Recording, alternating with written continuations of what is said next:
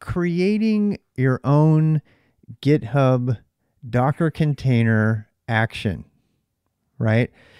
Everybody's doing this right now, and there are lots of different ways to do this and get the input, and there are a lot of unsafe ways to do this, uh, ways that you can really shoot yourself in the foot. Um, not to mention making your life a lot more problematic. Um, and I, I'm still new to this, so as I begin, thank you for that. Um, everybody's saying hi. Here are some things that I've discovered initially about GitHub Actions and how they're deployed and how they're implemented that I want people to consider. And right off the bat, I'm going to show you a deployment that ran where I ultimately decided to pass environment variables into the entry point of the container. This is specifically for, there's many ways you can do Docker containers uh, I mean, GitHub containers, but Docker containers are by far the best. And you can use your own runner and everything. But what I want to bring attention to here is you see here I'm using the with keyword to pass input. Uh, which we'll get into how to define that in a second. And you can see that it follows the convention here by passing, you know, mounting, I guess, these environment variables using Docker run. And it call it puts input underscore and it uppercases all of it and everything. But that's not all it does. It also passes according to the specification. It also um, must require that you put an argument line down here. But if you keep going farther on, you start to see that it, when the implementation, um, you see that it passes it as an argument to the beginning. And this is extremely confusing if you're just coming at this. If if when you see the term args as a Unix person, um, you immediately assume it's going to be you know, an argument and another argument and another argument passed to the command line. And I mean, by looking at this example again, you can imagine that I would have, in my case, if I had passed it with with, I would have had like five or six or seven of them, right?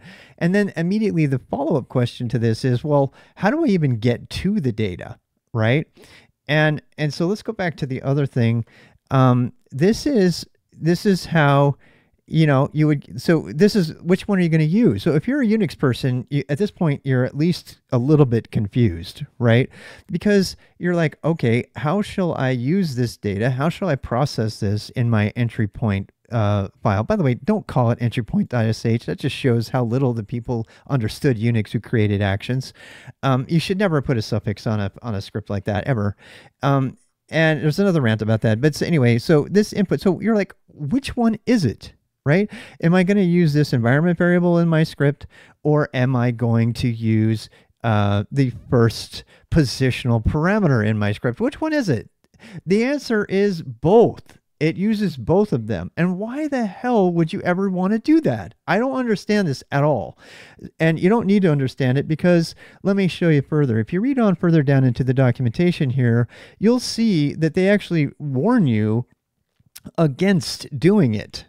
They warn you against doing it, and they say if you use the args line, it's down here below someplace. I'm going to find it again. If you use the args, you, you can put with here, right? That's how it gets used. Um, but if you use the args line, it actually uses the CMD format of the of of the um, entry point executable, um, which is completely insecure. In fact, they encourage you to use uh, shell dash c which i don't have in front of me right now but you don't really need to know about any of that. Just don't do it. I'm serious don't do it. Do do environment variables. The takeaway from this is very obvious and simple use environment variables right?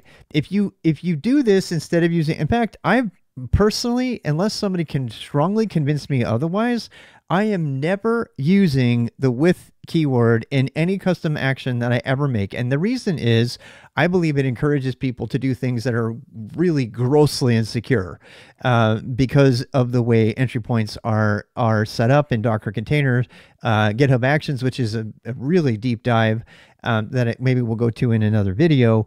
Um, uh, but yeah. So if they're meant to be sourced, I agree. Uh, so so the the safer thing to do here is and and the more obvious thing to do and the simpler thing is to just use the env uh, tag when you're creating your custom actions because this way you know exactly what they are. You name them what you want them to be named, and you end up with scripts that get mounted. Look, see, it mounts them. It mounts them using your, your environment variables, and your entry points become much simpler because at that point you don't have to be as crazy, uh, and you can make an entry point that this is a sample of the entry point, but instead of I, I use the other one, right?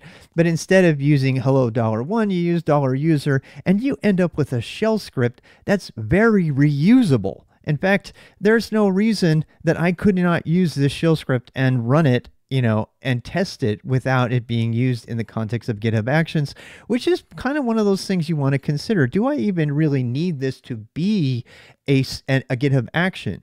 Right? So the, if you're going to use a Docker container, which is probably a good idea, then you can write your entry point and your, your you know your Docker file can can be uh, super simple as mine is.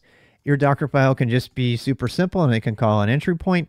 And if you decide you need to put other things in there, for example, in my case, I'll probably be adding uh, SSH um, and I don't know what, maybe tar if it's not already there in the Alpine one. I don't know. But if you needed to add stuff in there, you could. The point is, is this nice happy entry point file um, is now can be used anywhere, right? And it, it you, it's very easier. It's much easier to read because you've got you've got you know actual environment variables in here that are just being called. Now if you want to create your own prefix for that fine but as we saw these these environment variables are automatically passed using their exact names if you use the env directive in your custom actions. So the takeaway is very simple.